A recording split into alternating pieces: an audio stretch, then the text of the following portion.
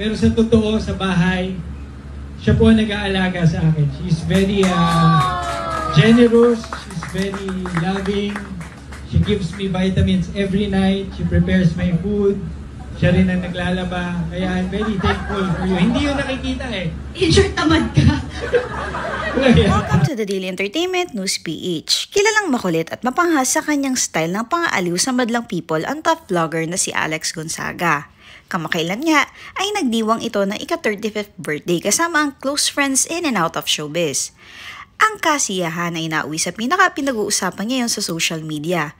Di natuwa ang karamihan sa pagpunas ni Alex ng cake sa waiter. Not funny at all ang comment ng karamihan sa social media. Disappointed ang mga ito sa ikinilos ng 35-year-old vlogger at awa naman para sa waiter. Bukod sa mga netizens, dismayado rin ang ilan sa mga kasamahan sa industriya ni Alex gaya na lamang ni Arnold Clavio na nasaktan daw sa ginawa ni Alex. Sinugundahan naman ito ni Derek Ramsey sa pamamagitan ng pag-like sa post ni Arnold.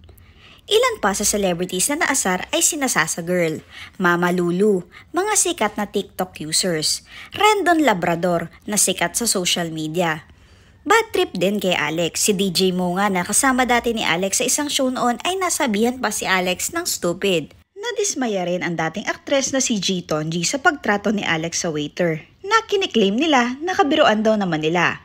Sabi nga ni G, dapat nga lalong di ginawa ito kay Alan, pangalan ng waiter.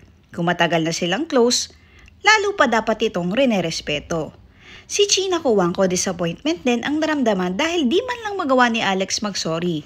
Sa halatang nanliit at napahiyang waiter noong gabi na naganapang insidente. May mga nagtanggol naman kay Alex. Nanguna na nga rito ang kanyang kampo na sinabi na kagod naman daw talaga nila ang waiter kaya walang issue kung biruin man ito ni Alex.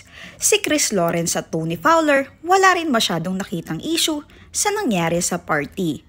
Mainit na mainit talaga ang Gonzaga sisters ngayon. Well, good or bad publicity, nakikinabang ang magkapatid. Thank you for watching the Daily Entertainment News PH. Your daily dose of chika. Don't forget to like, comment, and subscribe. Thank you for watching.